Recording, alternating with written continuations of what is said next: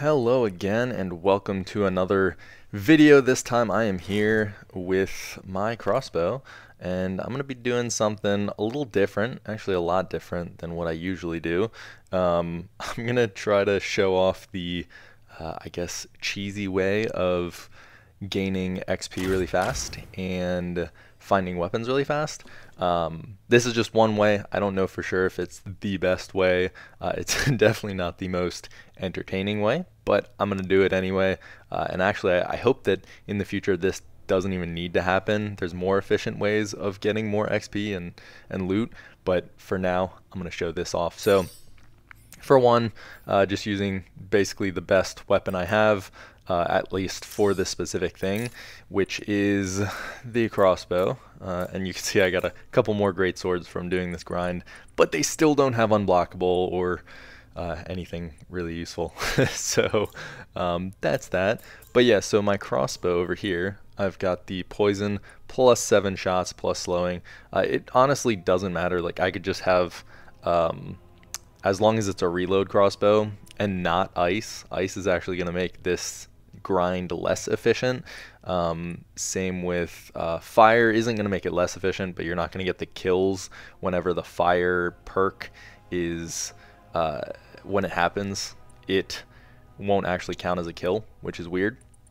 At least the last time I tested that, that's what happened. So take that for what it what it is. Um, but yeah, so poison, basically you get the kill no matter what. Uh, you don't have to shoot them twice like with ice, or uh, your kill isn't gone because it was fired. Uh, and then slowing is just there, whatever. Seven shots, that's good. But yeah, I, I do wish I had a eight shot with something other than ice, but oh well, oh well. Uh, it's pretty good for um, tier seven difficulty. Then I've got these daggers. Probably not even gonna touch them. Don't even really need them, but they're there. And I'm gonna get. Oh yeah, one more thing. Uh, when you do these speed run kind of grinding the XP and loot, you want to have haste so that you can kind of just zoom through rooms until you're at the end room. And yeah, we're good with haste.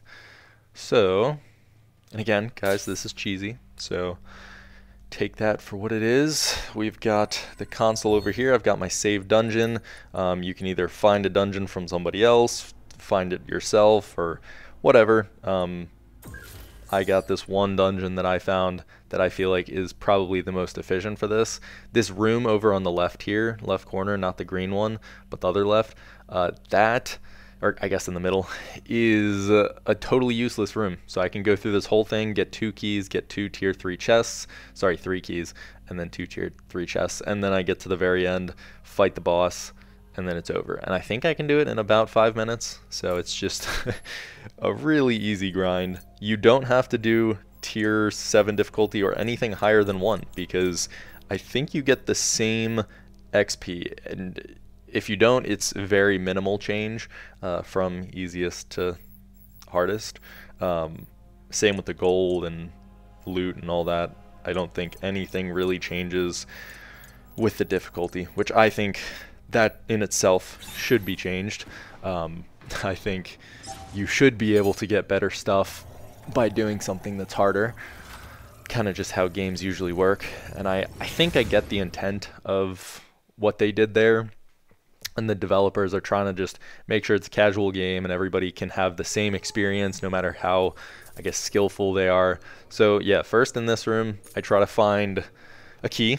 So I've got one key here and it's it's kind of randomly generated, but I found that, pop the haste, and then I zoom through here. This is a totally useless room. Don't even need to fight anything. I can go over here, try to find the key. There's a key right here. Sometimes it's over there. Then I go over here, uh, usually there's a key right there, but sometimes it's right there. So here we go. Zoom past everything, go on up here, and then I open this with the three keys that I have, and bam. Actually, do I have three keys? Oh, yeah, I got one more key. So I don't even need to look at what I got. Oop, and then the slime blocked me. Oh, okay, and then I died. That's okay, not the cleanest run, because that slime got in the way, but whatever. Then I go up here and I just zoom up. Don't have to worry about any of the enemies. It's tier 1. It's not really going to affect me. And dying didn't do anything either. I open that chest, grab onto this pole. Oh, that was weird. And then I teleport down here. Zoom, zoom. And pop another haste. Why not? I actually just found a haste, so got it again. Then we fight the boss. And wherever that boss is, here he is one shot. kind of crazy that that's one shot. Then we get the skeleton boss. Couple shots. He's a little tankier. Oops. And then put that battery over there. And there we go. I think I might have dropped, dropped the battery down there. And pop it in here. Got that last battery. Pop that.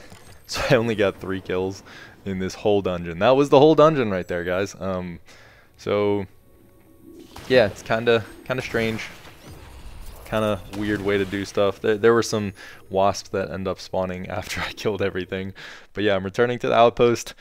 That was literally it. Um, I got two weapon modules, and it's just two guaranteed weapon modules for like five. I don't think that was even five minutes. It's probably like two or three minutes. Um, but uh, again, now I'm recording it. Now I can look back on it and see what it is. And if you do something like this, it's an easy way to grind the dungeons completed. You can see I'm 126, which is higher than most of the other ones. I've kind of grinded some crystals, so that's another reason my dungeon completed is so high, but uh, 126 and 564 total dungeons. Um, obviously, these guys have grinded a lot more than me, but uh, yeah, no, if you really want to go for it, there's that's an easy way to do it. Um, and I did this standing up, but you can just as easily do it sitting down, and it hardly makes a difference. Because, um, I mean, all you got to do, reload, bam, bam, bam, bam, bam, shoot the guys, and uh, kind of just run through them. Yeah, so that's that's how you do that. And I, again, I, I don't think that should be the case. I feel like uh, having to do the dungeon and do tier 7 difficulty uh, and that give like I don't know, seven times as much XP, seven times better loot, stuff like that. That would be awesome. Maybe not seven times, but at least better. Maybe double, something like that. Uh, but that would be awesome. And then challenges and assignments. I think that's uh, down the road. Um, challenges and assignments. I don't know exactly what that means, but that's on the roadmap, and uh, that should potentially help this as well. Uh, in like if you do a challenge, then you get specific stuff, maybe a lot of XP if you complete the challenge, uh, whether it's doing a dungeon without any exo points or exo perks, or uh, doing a dungeon with the default weapons. Like I don't, I don't know what these challenges are going to look like, but I'm excited for them, um, and I, I think they could be a really good value add, especially if if it actually gives you rewards based on how difficult it was, um, how much time it takes, or whatever. Because uh, you saw that.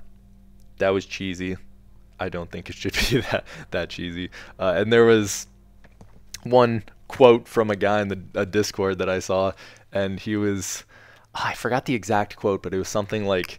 Uh, players will always, video gamers will always find a way to maximize the fun out of your game, uh, to optimize the fun out of your game, something like that. And that's basically exactly what I just did. I, I was I'm optimizing to get the XP, to get my long swords, and yet um, it's it's not ideal because I'm not having the most fun. Could I, I could have much more fun playing with friends, playing random dungeons, uh, playing with the longsword, but instead I just decided like, hey, I, really want this specific longsword. I'm gonna grind for it, and I'm gonna do the most efficient, optimized thing as possible. Even if this isn't like I I, I don't know the stats on that specific dungeon. Um, I I haven't measured it to other huge dungeons with more tier threes and see like how efficient is this compared to that. But I feel like completing a dungeon gives you a lot of gold and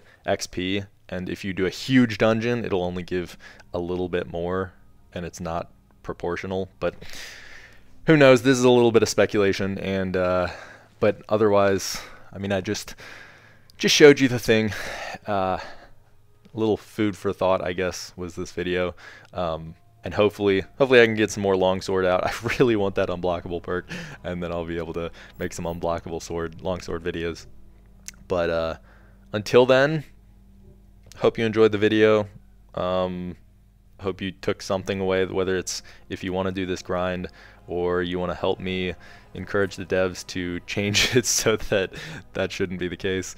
Uh, either way, hope you enjoyed it. I will catch you in the next one. Make sure you like, comment, and subscribe, and peace out.